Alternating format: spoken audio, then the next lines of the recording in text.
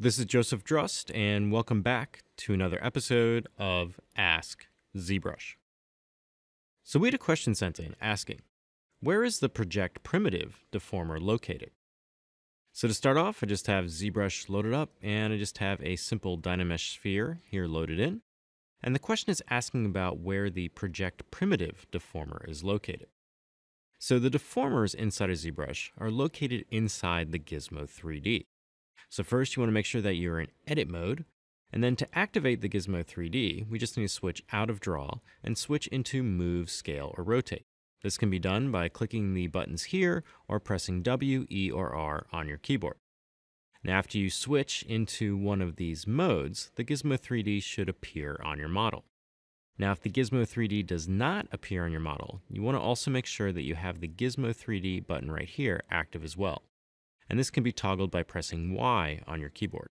Now, when this button is active, you should have the Gizmo 3D visible on your model, and if it is deactivated, you should now have the transpose line. So pressing Y on your keyboard while you're in Move, Scale, or Rotate mode will toggle the Gizmo 3D and the transpose line. For the deformer palette, we want to make sure that this is toggled on. Now once you have the Gizmo 3D visible, at the very top here, there's an icon that looks like a gear. And this is the Customize menu. So if we click this icon, this will open up this other palette here. And at the top, you'll have a bunch of primitives that you can modify. And then below that, you'll have a series of deformers. These deformers will allow you to modify your selected subtool with different features. So you can apply bevels, creases, offsets, slices, scaling, tapering, twisting, and a bunch of other different processes. Now the deformer that we're looking for for this video is the Project Primitive Deformer, and that is currently listed right here.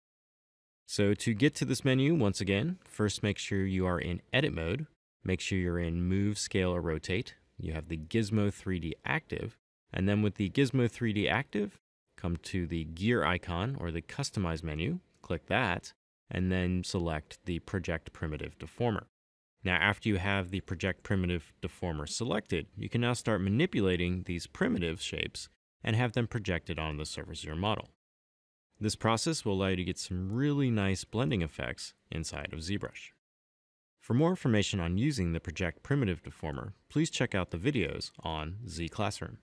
So if you have any other questions related to ZBrush pipelines or processes, please use the hashtag AskZBrush on Twitter.